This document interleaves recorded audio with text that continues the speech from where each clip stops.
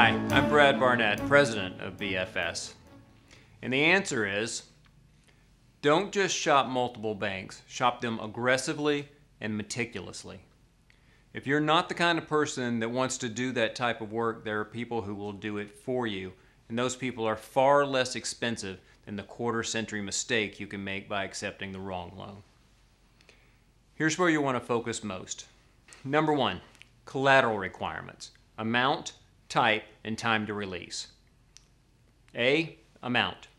Banks, as they should, are always looking to have the most collateral they can secure. Many banks will simply ask for every major asset you have when they could approve your loan with less collateral. Scrutinize these requirements. Don't let it stand if you think you're giving up too much. If you're using an SBA loan, remember that the bank also has the backup of the SBA's guarantee as well. B, type. Banks like assets that are easily located, like real estate. That way, if something goes wrong, they know exactly where to find it. Less attractive to banks are assets that are easily moved, like a car or gold coins. If you need, for example, $100,000 of collateral to secure a loan, don't tie up a $750,000 piece of property when you could use $100,000 worth of a blue chip stock. You now have $650,000 more in usable assets. C. Time to release. Keep in mind that collateral is negotiable not just in the amount or type of collateral you provide, but also in the amount of time the bank holds the collateral. Know that your collateral does not have to stay under the bank's hold for the duration of the loan. Assets used as loan collateral can be released before you repay the entire loan. Make sure you can break out your collateral as soon as possible. Two, interest rate. This one's obvious.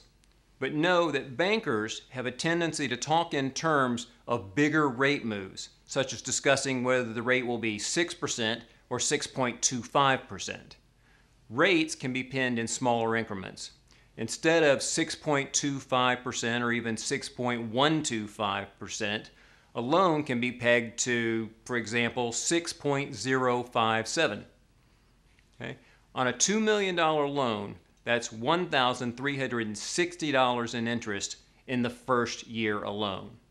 Now, it may not seem like much when you're looking at $2 million, and bankers know that, okay, but you wouldn't take that money and put it in your paper shredder once a year. Okay, number three, points.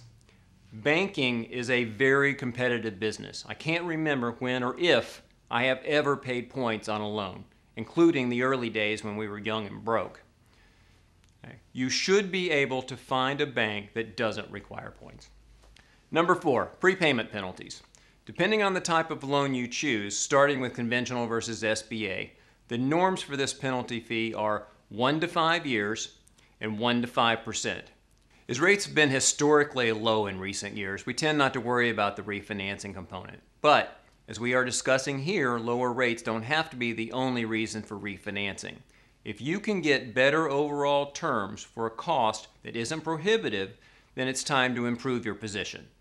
If you're choosing to pay off your loan early and simplify your balance sheet, then it's much better if you can get rid of this contingent liability as soon as possible.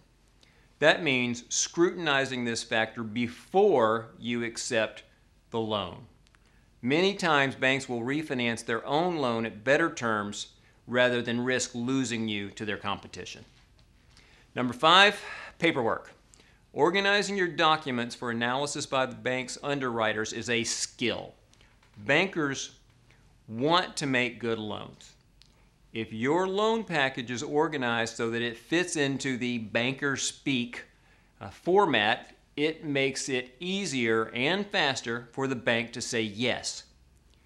Don't underestimate the value of speaking the bank's language fluently. It is a solid indicator that you're well organized. Number six, credit score. Everyone would like to have an 800 plus credit score, but that's not the case for most people. Some people have lower credit scores because they choose not to carry debt. There are many reasons for a less than perfect score. Unless you have a flawless credit score, be prepared to explain any blemishes uh, on your credit record. Know what the bank sees before they see it. If you need to know more about improving or repairing your credit score, visit us at www.bfsinc.net. Number seven, type of loan. Comparing both conventional loans and SBA loans is another way to improve the odds of getting the best loan for you. Okay, for a more detailed look at how to compare these loan options, download our free ebook at www.bfsinc.net. Number eight, protect your credit score by shopping banks the right way. Don't reduce your credit score by shopping banks the wrong way. And when you're ready to shop banks or other lenders, time it so that you're in front of all of the lenders or banks in the same 30 day window. In the infinite wisdom of credit reporting, your credit score will typically drop by about eight points when you are shopping for financing. That's bad enough, especially when you consider that a loan may very well make you a better credit risk, not worse. To add insult to injury, if you shop lenders over two different 30 day periods, for example, March and April, you can get hit for eight points for each month.